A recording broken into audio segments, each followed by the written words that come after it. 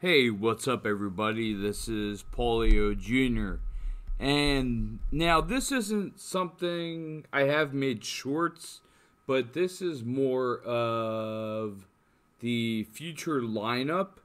And please stay tuned because there are at least one or two Marvel movies that are being released in May that not many people know about. So let's get into it and then we'll get into that. So, how's that sound? Okay. So, Thor. Uh, probably one of the best uh, movie series ever. So, this would be number four. Uh, Thor Love and Thunder released. I hate how they you know, it takes so damn long for them to release July 8th, 2022. It's like, oh my god. But um, until then, one, we have uh, Hawkeye, which is uh, due to come out in November. And then we have uh, Eternals coming up very soon in the next, uh, what, like two weeks ish? Uh, Eternals is coming out November 5th. Uh, and then we have right after that Spider Man No Way Home. And then on May 6th, now this is an interesting date. May 6th, 2022, Doctor Strange was it in the multiverse of madness? Yes. Okay, cool. I got it right. Anyway, before I go any further, let me just say that the director, and uh, forgive me for mispronouncing his name, is uh, Taika uh, Waititi. Now, this guy is the man at uh, directing.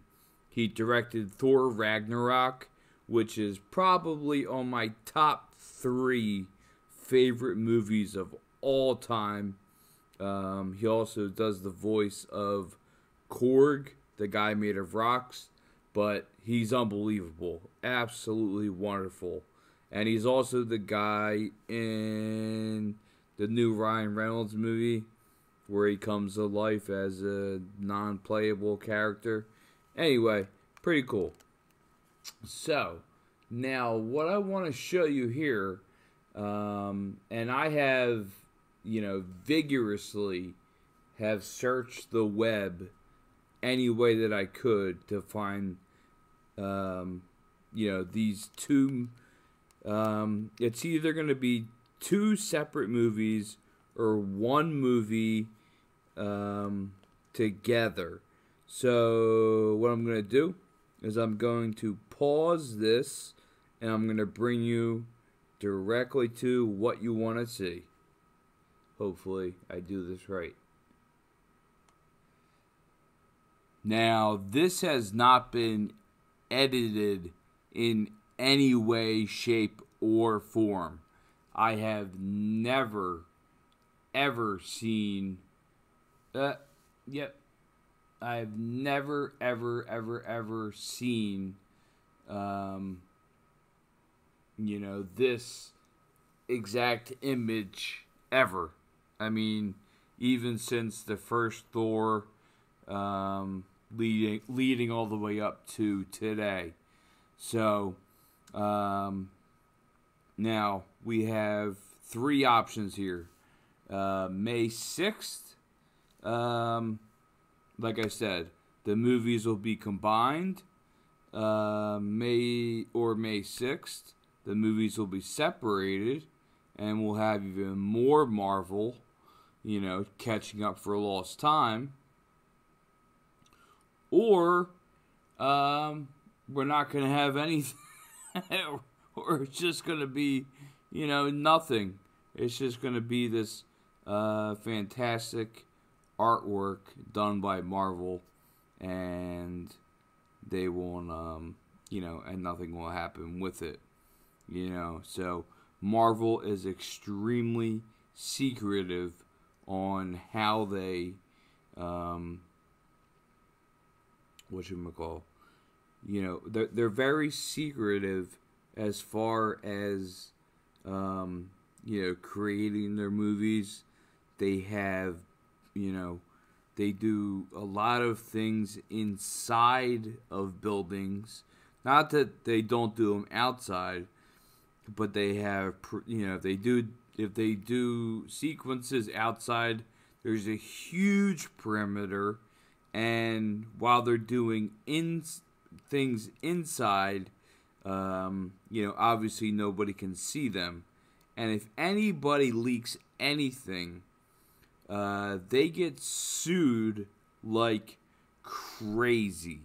So it is not worth it whatsoever. So, but uh, yeah. So May sixth, um, we got a you know we got a whole bunch of movies going on here. So let's see here. Um, okay, let's go to Windows let's go to do do do do do where is it where is it uh, okay. Nope not what I wanted. Not what I wanted.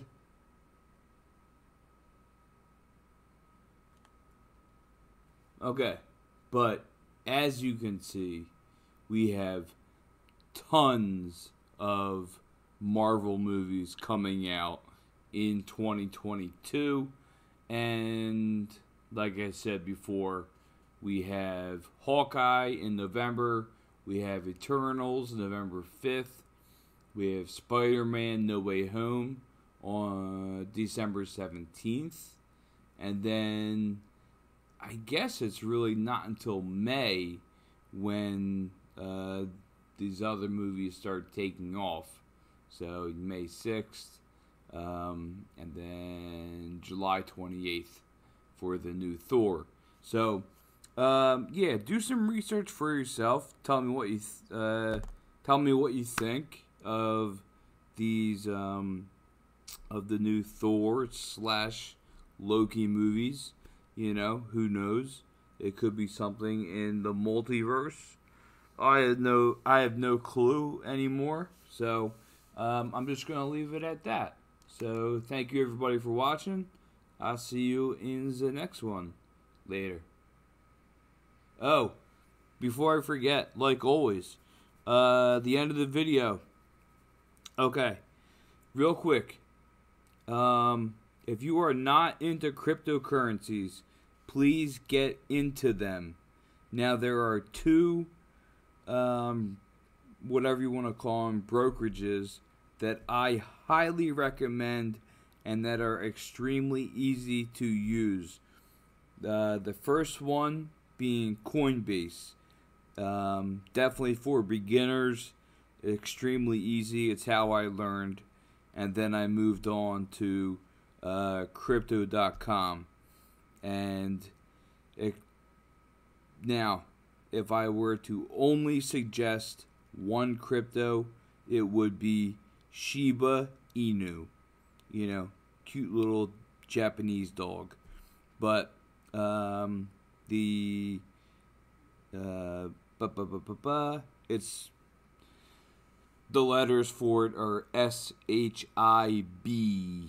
So, but it's very simple. You can get tons of shares for nothing at all, and perhaps down the line, um, you could make quite a bit of money. So links will be in the in the description. So I really hope that you guys, um, you know, have followed my crypto playlist, and I hope you do the same in investing in your future. Um, and this is just me talking to you on a personal level because that's the last thing we want to worry about is money. You know, nobody wants to worry about money, especially now when times, you know, are very hard. So, um, all right. I love you all. I see you in the next one. Bye bye.